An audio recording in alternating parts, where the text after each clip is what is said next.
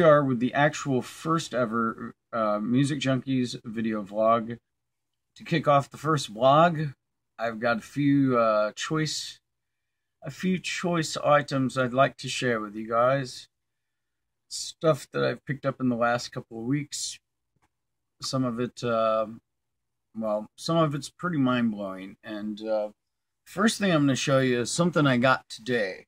Now, I did pick up Blood Sugar Sex Magik, the reissue, uh, last year. So I, of course, you know, I have a uh, a copy that is actually copyrighted 20, 2011, but uh, you'll notice that the spine, but there's no writing on the top or on the bottom. Now, I went into my local record store and I seen they and I know that they just bought like forty thousand uh, used albums, and there's a lot of sealed albums in there. And they had quite a few copies of this. And what really got my attention is this sticker contains language that some people may find offensive. Now that's something that sounds like a sticker that would have came out back whenever this album first dropped back in what 91 yeah exactly 91 I get to looking at this thing, and it's a, uh, a Time Warner pressing made in Germany from Warner Music Manufacturing. So this is back when they were still manufacturing, and here's the price. They had a bunch of these at eleven ninety nine. I wish I would have grabbed more, especially when I got it home and realized this is an original pressing. It's a double LP set, but the label is the dead giveaway. If you recognize this label, if you know anything about Warner Brothers, you know this is an original German pressing. And I also did a, a check on Discogs. Sure enough, this is the real deal. So I got lucky with this. And apparently they're starting to put all this stuff out. They're starting to put all this stuff out now that has come in as used and again, this was sealed. And for nine ninety nine, I was not going to pass up a brand new copy of Breaking the Chains. Turns out that it is an original pressing. It's a second issue, though. This is after they had switched over to the uh, what I refer to as the cocktail label. But yes, it's brand new. It's not warped. That's what's important. Anytime you find used records or actually new records still sealed that are old, you want to look at it and make sure there's no bow in the cover. If there's a bow in the cover, there's a good chance that the vinyl is warped. I looked at this, beautiful, had to grab it, no regrets. Now, I also grabbed uh, a couple of other things, and uh, uh, you know, one thing that I got, and we're going to be going over how to care for your picture discs when they come in this crappy plastic. This is an alternate revolver. It's alternate versions of all the songs that are on the Beatles Revolver. And uh, of course, it comes in the, the crappy plastic that you don't really want to keep your picture discs in. The next vlog, I'm going to show you how to care for your picture discs and how to store them long time. So you'll definitely want to check that out. Uh, I I have to uh, say I am a a collector of all things Hendrix. I collect everything Jimi Hendrix, and I recently found this. It's in superb shape. It's the Jimi Hendrix concerts, a collection of his most exciting performances that came out in 1982. So this compilation at the time, most of these concerts have never been released. Well, there's quite a few of them have been released by now, but this is still a diamond in the rough, and I had to have it as soon as I seen it. Now, this is kind of the fun part of, of the Music Junkies Journal and this vlog. mind you, I've been up for a very long period of time. I just played a show with uh, my band, and uh, I should be in bed right now. But instead, I wanted to do this vlog because I'm anxious to open these. These were two more of the uh, the used collection that came in that they had put out for sale, and I was just mind blown whenever I seen these. Uh, oh my god, yeah! I just took the price tag off of what I actually paid for this. I'm not going to disclose that, but uh, for this original pressing of News of the World, at one time it was three dollars and forty-seven cents. Well, it's a cutout, so, but it's an original pressing. Again, I looked at it; it doesn't look bowed or anything. And uh, this copy is open at the end, but it hasn't been opened all the way. It is a cutout, but these are both Elektra original pressings. And they've been sealed for all this time. And look at this. The sticker price on Jazz, two ninety nine. Two ninety nine at one time. This was two ninety nine. Now, of course, since vinyl's come back and everybody wants some, it wasn't two ninety nine. But it's an original pressing, and even though I have the colored vinyl box set, I had to grab this. And so here we go. The unsheathing Okay. So that's one down. And I'm just going to set it aside. And now we're going to open up News of the World. This was one of my favorite albums back in the day. Still one of my favorite Queen albums. Uh, it's phenomenal. This one has not been opened in any way, shape, or form on any edge, except for where the, uh, the cutout is. Mind you, it's got that $3.47. It's sealed. It's it's it's an original.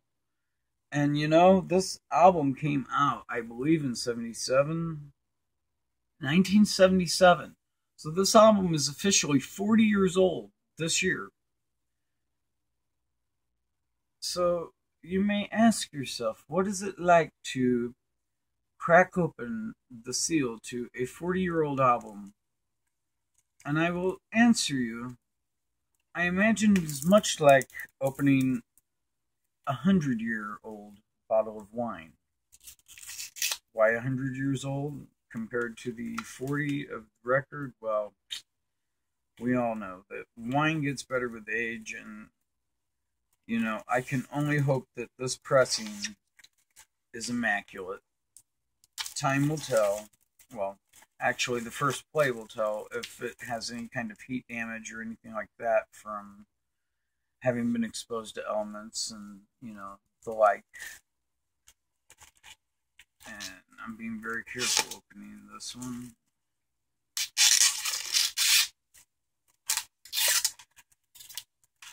don't want to bend any part of the cover because it's in immaculate shape that's what flipped me out when I seen these I'm like they're sealed.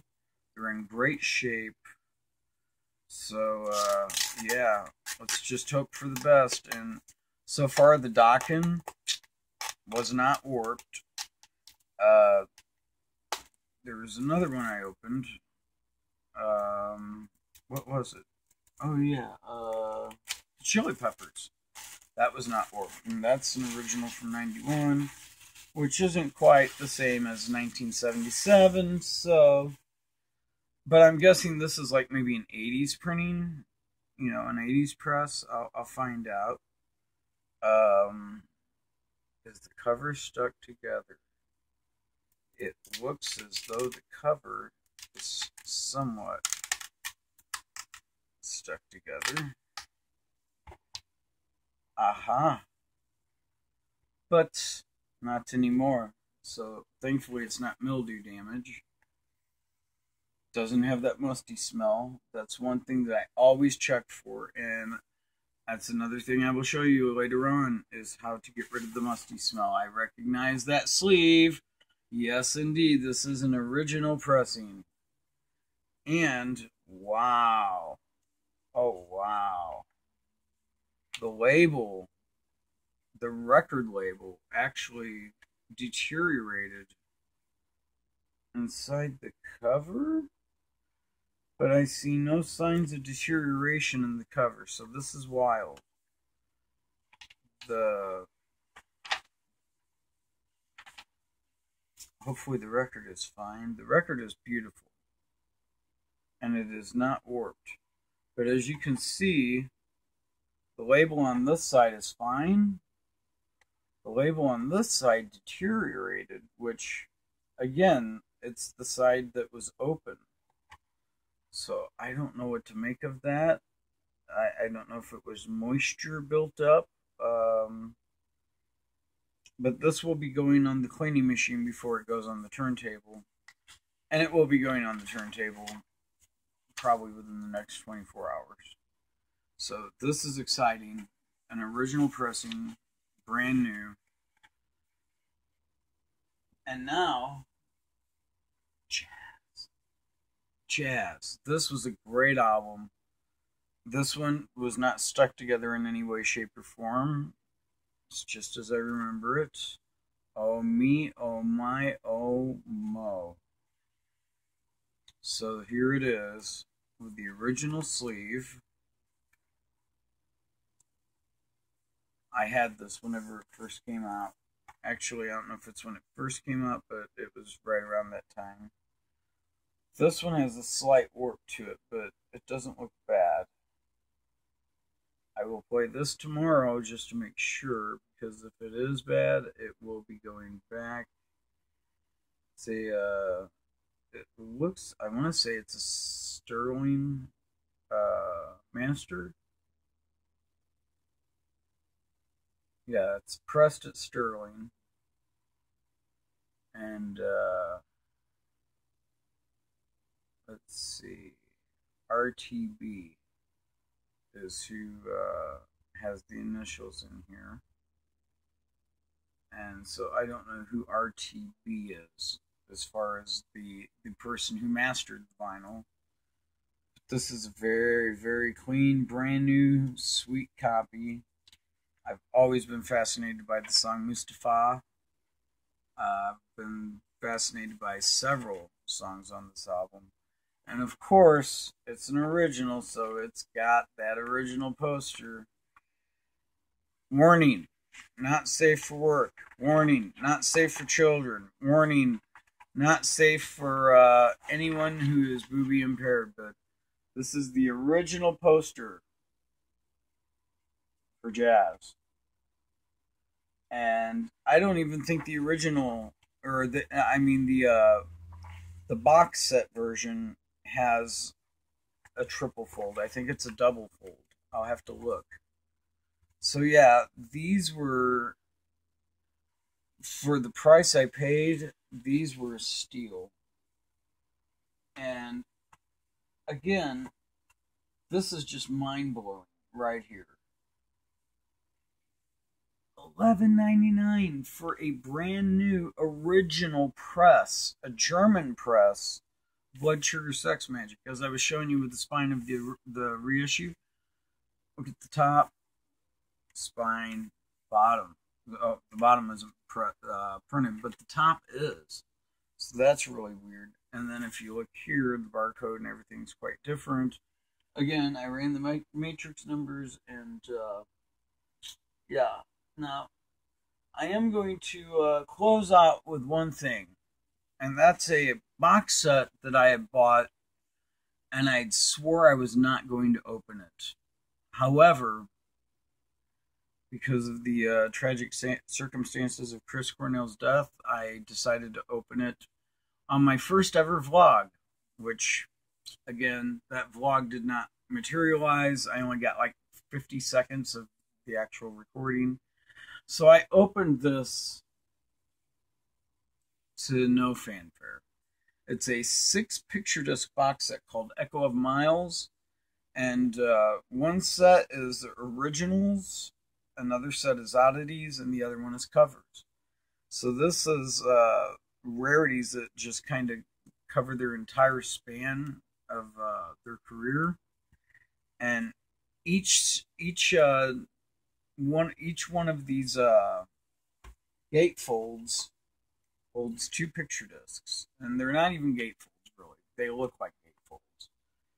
But you have this one, which is the uh, the covers. You have this, which is the oddities, and then you have this, which is the originals. Now, the picture discs themselves, I believe, are 90 to 120 gram, and they're immaculate, as you can see. And so I will be cleaning these. I will be uh, putting them in new sleeves. I do not like paper sleeves. Uh, paper sleeves do have the ability to scratch records or at least scuff them. And so I prefer polyline sleeves or poly sleeves. And uh, we'll get more into sleeves later on, but I'm really stoked that not only did I have this box set to open, but that I found it when I did because I would have never seen another one.